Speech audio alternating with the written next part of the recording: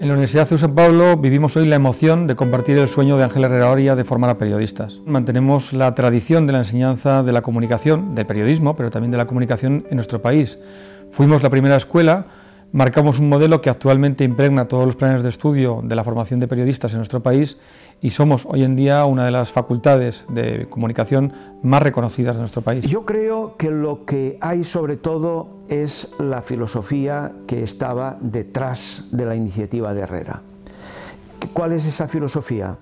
Que el periodismo se puede enseñar, que el periodismo se debe enseñar bien, que hay que ocuparse de los alumnos, que hay que eh, profundizar en la enseñanza, que la enseñanza periodística tiene que tener una base mm, filosófica, científica, pero también una base práctica.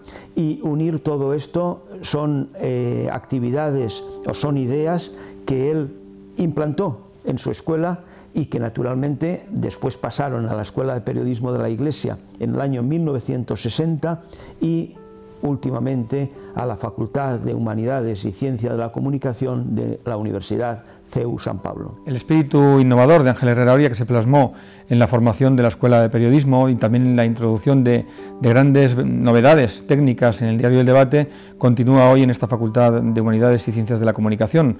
¿Dónde podemos verlo? Podemos verlo en un título pionero como Comunicación Digital, podemos verlo con los títulos que se imparten íntegramente en inglés, los grados internacionales, podemos verlo con los convenios que mantenemos actualmente con la Universidad de Columbia y la Universidad de Boston para formar a los alumnos en, las técnicas más modernas y más avanzadas de la comunicación.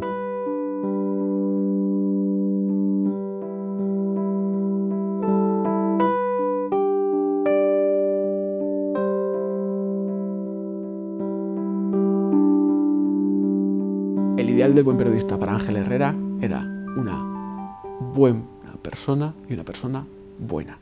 Un buen profesional y un profesional bueno.